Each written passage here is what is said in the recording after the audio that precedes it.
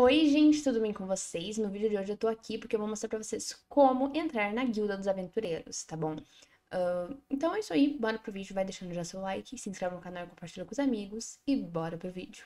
Primeiramente, você vai vir então aqui nas minas e vai começar a descer.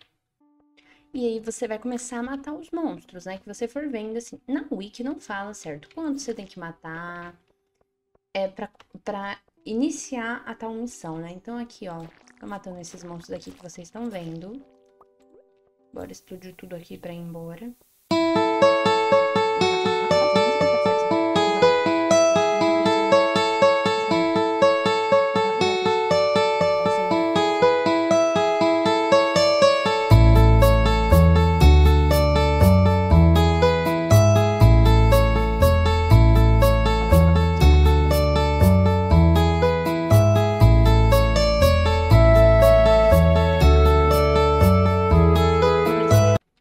Agora a gente vai virar o dia.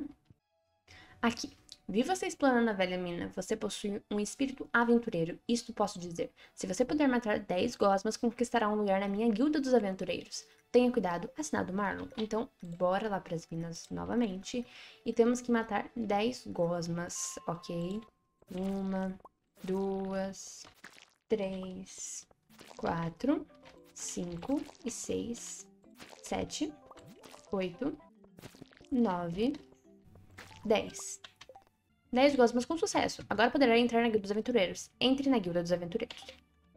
Para você entrar na guilda, precisa ser entre as 14 horas e 22 horas, ok? Chegamos aqui. Gil acorde, temos um visitante. O Gil é este aqui. Volte quando tiver algo para me mostrar, criança.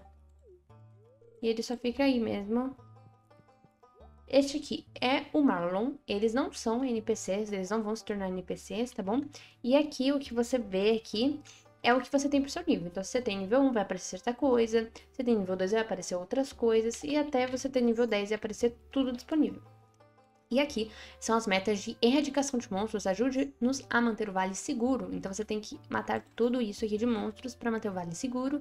E é uma das conquistas para a perfeição. E foi esse o vídeo, é assim que se entra na Guilda dos Aventureiros. Eu espero muito que vocês tenham gostado. Deixa o like, inscreve no canal, compartilha com os amigos. Beijo pra todo mundo, tchau, tchau e fui!